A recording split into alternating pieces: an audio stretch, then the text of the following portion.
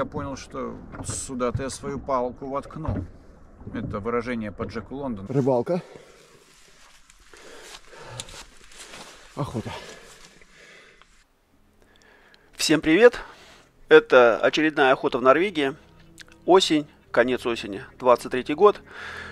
Мы пришли с рыбалки. Если кто не видел рыбалка в предыдущем видео, как раз с этой рыбалки мы и пришли. Ну и вечерком решили выйти в море поохотиться. Буквально на пару часиков. Забегая вперед, скажу, ребят, такой охоты... Ну, у меня, в принципе, вся охота была там охота экшен. В общем, кто досмотрит до конца, тот увидит. Смотрим!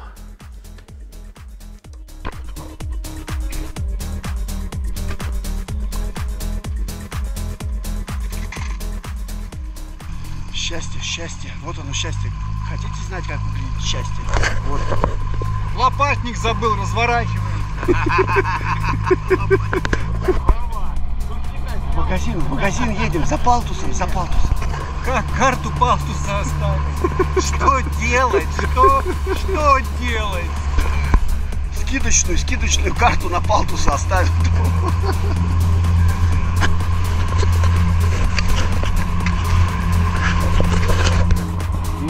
Буквально уже сколько у нас? У нас полчетвертого. За это время погода сменилась три раза. Сначала был дождь, потом штиль, потом опять дождь, ветер, волны. И вот сейчас, сейчас мы выезжаем. Просто идеальная погода. Идеальная погода для погодной охоты.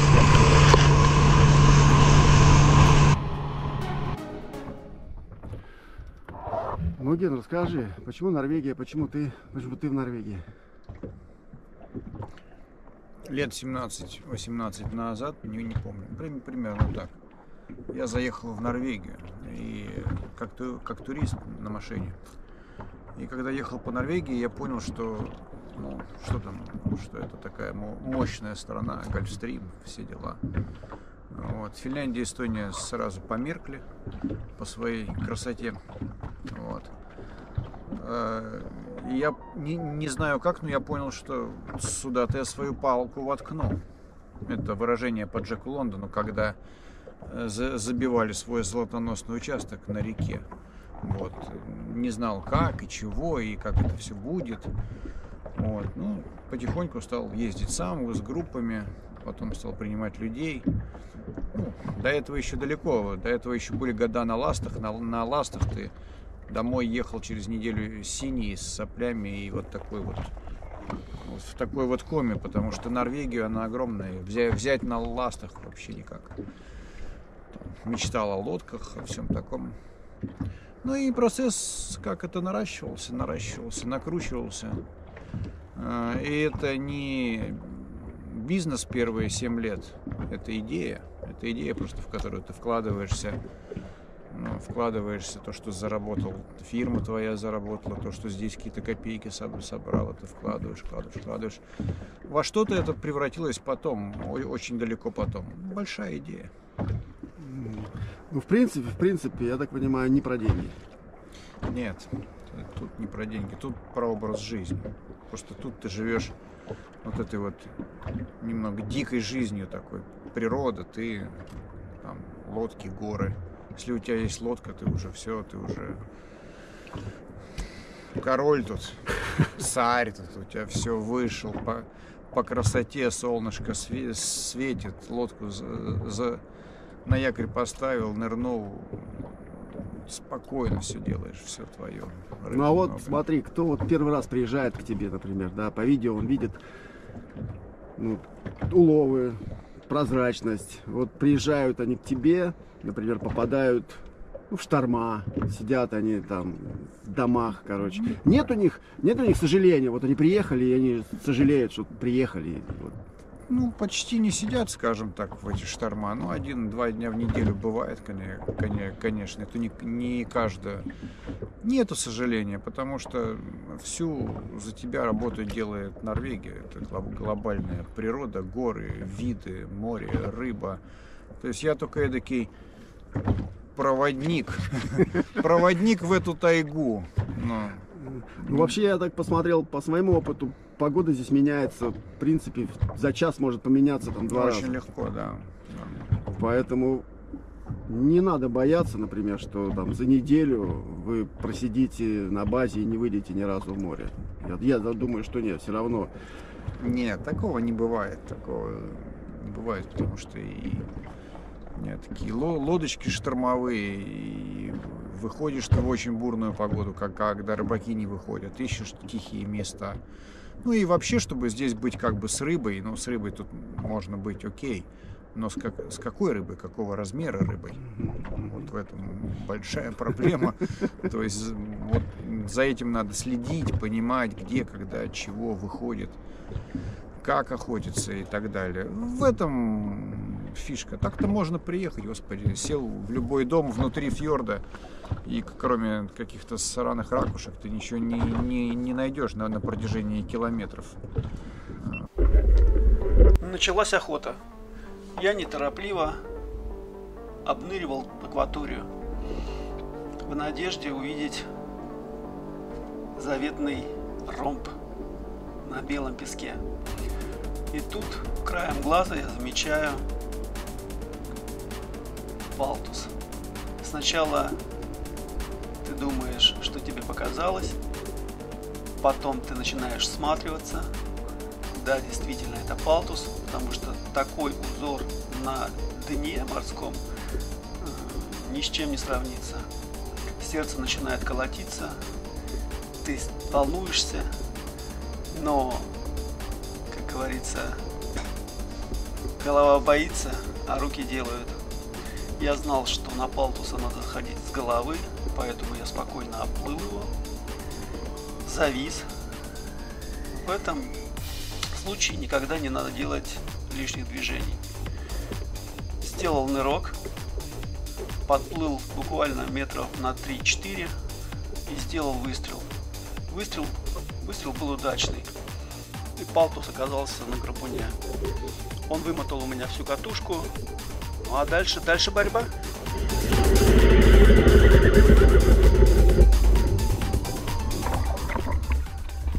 Взял палтуса килограмм на 20. Сейчас снизу. Все вы видели. Гена плавает там. Я не знаю, как его подтянуть.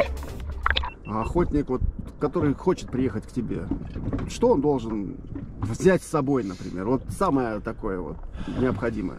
Экипировка. Экипировка, кроме, кроме больших ружей, ружей, грузов, Это все есть. там, ремней, да, буев, буйрепов, всех этих связок, это все есть, потому что если кто-то ко мне летит самолетом, ему неудобно все это.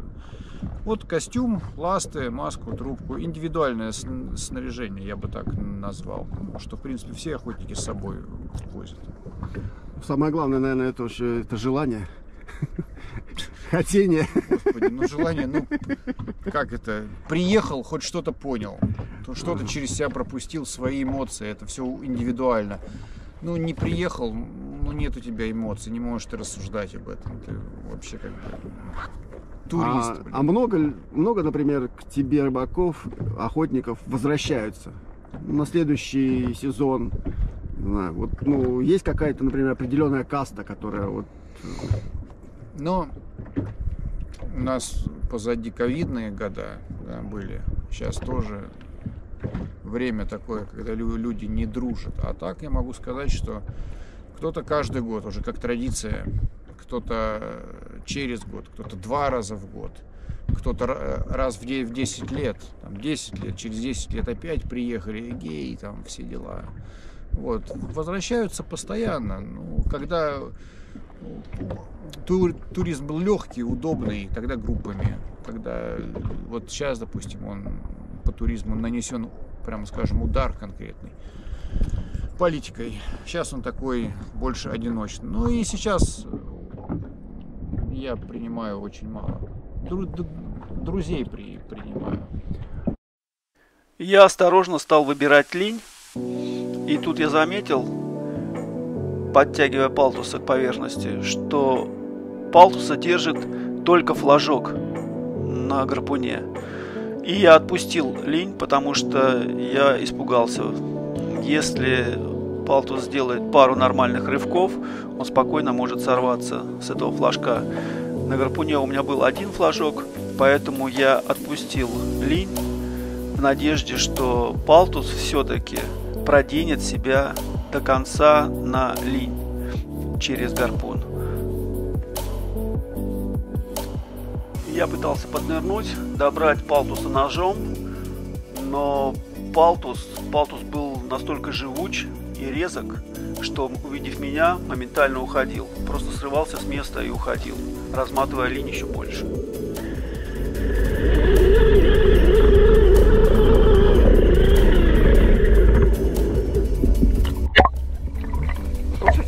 Обучусь уже 20 минут. Докричался до Гены, голос посадил. Гена плывет. Без второго ружья просто-просто невозможно. Поэтому парами надо стрелять его. Нет, вот этот, это 25 всего. Ты, слушай, такой бой даешь, что просто жесть. Я уже устал, я уже устал нырять, я уже, я уже все устал. Ну, на своем опыте, ну, у меня не такой огромный, как у тебя. Для меня, например, где-то третья, четвертая, может, пятая Норвегия стала это уже не про рыбу. Это просто я приезжаю, и у меня перезагрузка на целый год идет. И мне потом опять хочется сюда вернуться. С настроениями, например, такими, знаешь, не дайте рыбы, а вот дайте Норвегию. Вот ну, приезжай. когда люди уже взрослые, они уже понимают, много где были, но обычно это все-таки класс хорошего ту- туристы, охотники. Охотники очень самостоятельные, взрослые ребята, они подстрелят и приготовят и так далее. То есть они очень, очень такой, очень такой опытный кластер туриста, очень хорошего туриста, отборного. Вот. Они понимают эти вещи, понимают погоду, все понимают. Они приезжают, да, на, на, день, на 10 дней, и это дни есть. И до- и в домике посидеть, отдохнуть, и, гольф- и посмотреть северное сияние, и пофилософствовать, и чуть-чуть попить, и время провести за столом, и выйти в луг в хорошую погоду поохотиться. Это уже не, та- не гон за рыбой, это уже эдакая философия. То есть мы эти, эти дни так живем. Палтус был уже на лине, и у меня пришла такая идея. Я взял гарпун, гарпун, кстати, уже был погнут.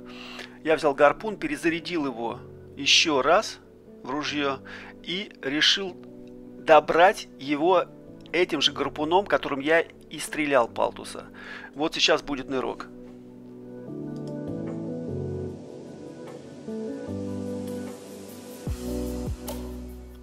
Выстрел. Гарпун не пробивает Палтуса, так как гарпун кривой, а ружье у меня а, состоит из направляющих.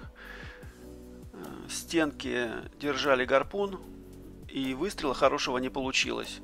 В общем, затея моя не удалась. Наконец-то подплыл Кена и пытался добрать Палтуса ножом. Хотя я попросил, Гена, давай будем стрелять. Нет, говорит он, будем добирать ножом. Ну вот его первая попытка из. Палтус борется. Гена пытается добрать его ножом. Смотрит на мой гарпун в ужасе, потому что он не пробил Палтуса. Он сначала не заметил, что это уже второй выстрел. Ну, видите, у него ничего не получилось. Палтус дает бой и уплывает.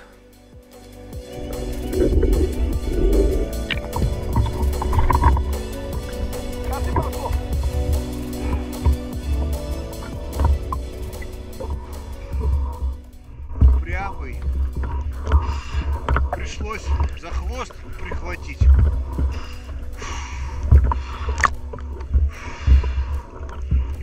Все, счастье. Гена отдыхает, собирается с мыслями и пытается очередной раз добрать Палтуса ножом. Благо глубина небольшая, 8 метров. Ну что из этого выйдет? Смотрим.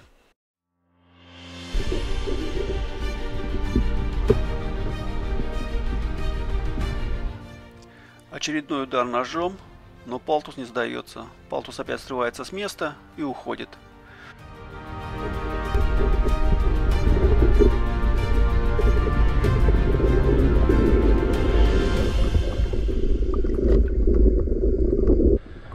Ну что, ну а что ты бы хотел сказать тем, кто еще не приехал? Вот они хотят, собираются, знаешь, как вот каждый год он хочет человек, и каждый год тысячи причин, чтобы не приехать. Но на протяжении года он все время хочет. Вот что, вот как его подтолкнуть?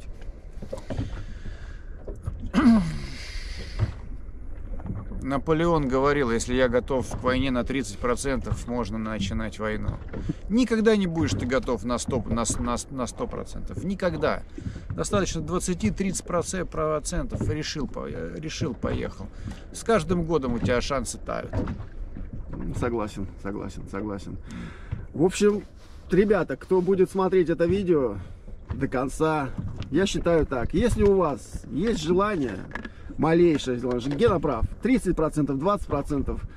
Собирайтесь, приезжайте. А тут вы уже сами решите, ваша тема или не ваша тема. Но я скажу, что вы просто заболеете. Заболеете этой красотой, этой природой.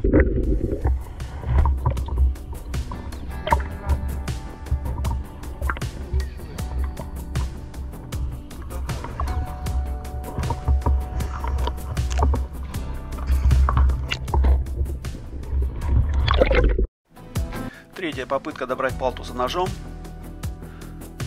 Удар ножом. И у Гены застревает нож в палтусе, и он не может его вытащить. Поэтому он всплывает вместе с ним.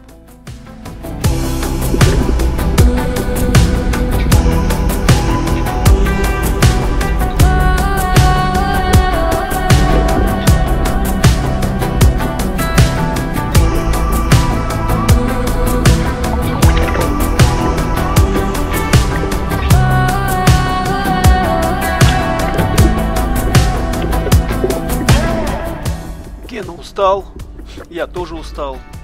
Палтус, Палтус вымотался. Мы пытаемся, ну не мы, Гена пытается высвободить нож из Палтуса. И у Палтуса откуда-то появляются силы, и он делает, наверное, последний рывок к свободе. Но нож, нож остается у Гена в руках.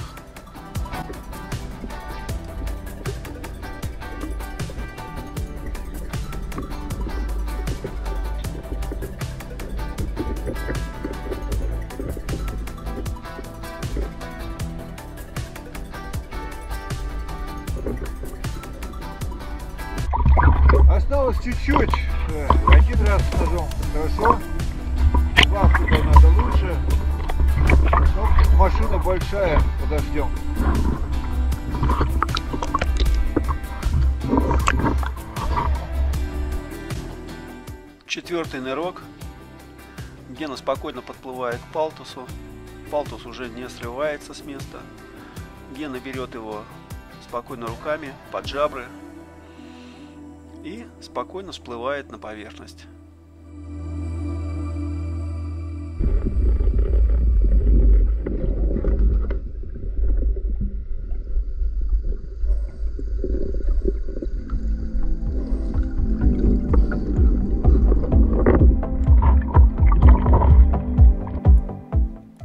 Раз все получилось. Наши усилия были вознаграждены и прекрасная рыба палтус отправляется на Кукан.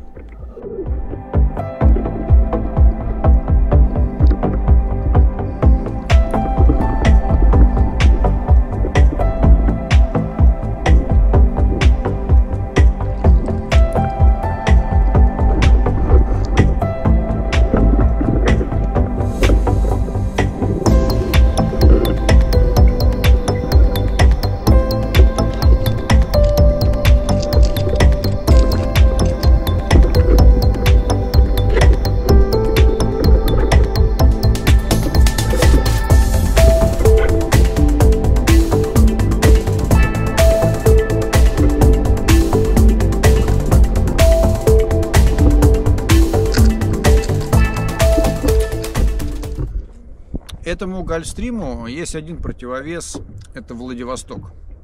Ну, там может быть более мутно, это очень далеко, это Японское море, это, это очень похожая такая, похожая флора там, под водой, что у нас, у нас да. А, но оно но, то есть это, но сюда-то добраться намного легче, намного легче. Есть многие охотники, кто со мной там начинал, охотился. Э, Норвегия послужила такую, такую печальную службу. Да, а люди перестали охотиться дома. Они перестали лазить по своим болотам, речкам. Они больше не могут. Я не могу идти искать Балтийскую камбалу. Я не могу. Я не могу купить скумбрию в магазине и, и есть ее. Она у меня обратно идет. Здесь свежая, здесь другой вкус. вкус. То есть это тоже это и плюсы, но это и такие моменты, когда люди начинают менять свой образ жизни. Поэтому, если ты не вылезаешь из своего болота, какое, как, какое бы оно ни было, там прекрасное, леневое, щучье там или еще чего, ну, блин, давайте так, о чем, о чем, да? вот. Ну что, все, Палтуса сейчас затаскиваем, забираем Гену и на базу. Отохотились. Полный бардак. Нет, охотились хорошо. Отлично. Я Палтуса не видел. Но телефон Гена. Ага. Все, вы, вытаскиваем. Гена. Гена быстрее меня. Красавчики, красавчики! Сейчас Гена еще какого-нибудь мастодополса привезет. Молодец, молодец, Дима. Опять, опять! Опять! Красава, опять красава. Опять. Кладем. Так, что мы делаем? Проходим мимо. Опа! Сейчас положу. О. О. Красава, смотри какая. Это сразу килл так приблизительно. Это как вчерашний на спидинг, да? Наверное, да. 30 поменьше. Что-то в этом роде. Успокоился. Но ты его успокаивал долго, да? Гена, тыкал три раза. Я просто был уже не сила. Ага. Ну, как-то так. Мы отохотились. Уже вечер.